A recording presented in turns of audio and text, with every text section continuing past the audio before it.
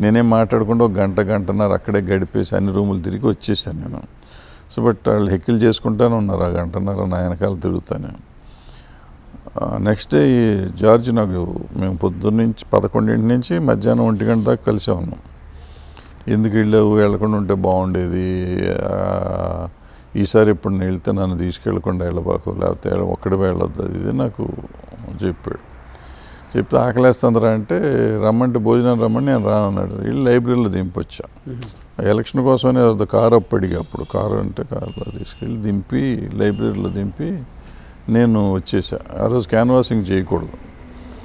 మర్నాడు election. Next కాబట్టి చేయకూడదు. అందుకని ఏం చేయాలో తెలియక తాజ్మహల్ నారాయణగూడ తాజ్లో భోజనం చేసి సంగం టాకీస్లో సోమరిపోతు సినిమాకి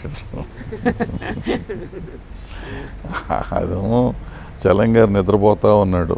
ఇంటర్వెల్కి ఇక లాభం లేదు. ఆయన నిద్ర మనం చూడటం ఎందుకు లేని లేచి వచ్చేసి. వచ్చి మళ్ళీ వెనక్కి యూనివర్సిటీకి వెళ్దాం ఏమవుతుందో చూద్దాం అని ఎలక్షన్ అంటే టెన్షన్ ఉంటుంది కదా సో నేనే క్యాండిడేట్ని అందుకని బయలుదేరి మళ్ళీ వెనక్కి వెళ్తున్నా.